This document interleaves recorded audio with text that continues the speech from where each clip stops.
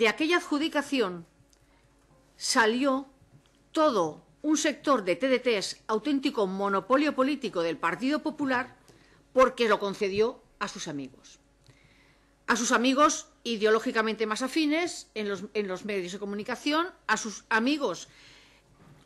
también económicamente más afines con sus empresas privadas, lo cual también fue recurrido por otras empresas que también eh, apostaban por poder, por poder entrar en el TDT, pero que políticamente el escándalo fue el resultado de aquella adjudicación. Partiendo del hecho de que la sentencia no se pronuncia sobre la improcedencia legal de la valoración y la puntuación otorgada a las empresas, se ha estimado que lo ajustado a derecho en ejecución de la sentencia es la retroacción del procedimiento al momento en que se han producido los defectos formales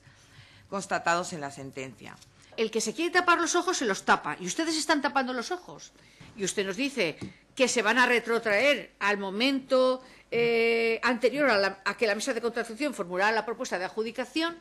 porque se reconoce que efectivamente lo que hicieron fue decir ordeno y mando una empresa externa me da a mí esta, esta, esta baremación y yo lo que hago es trasladarla ya, una empresa externa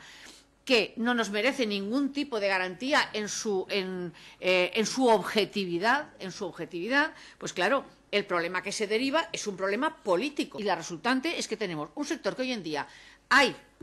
algunas de las licencias que se concedieron ni han entrado en vigor, ni se están utilizando,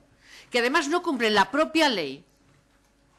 que, que tiene que regir y rige valenciana todo el sector de audiovisual, porque no se respetan ni un marco de un mínimo de producción propia, ni un mínimo de valenciano propia, y otros ítems que vienen en la ley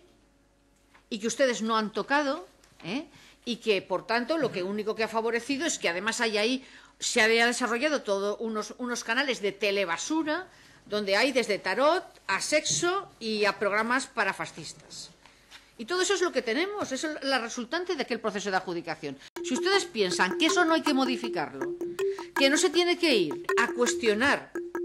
el elemento político del pliego de condiciones y de las condiciones que tienen que ser las que rijan y establecer una mesa objetiva en la adjudicación, yo creo que ustedes se están poniendo la venda sobre los ojos, porque el problema real que existe es ese, el escándalo político que eso supuso. Es lo que está sucediendo ahora con el sector y es la calidad que tenemos en estos momentos delante de la televisión cada vez que la abrimos y nos metemos en las TDTs.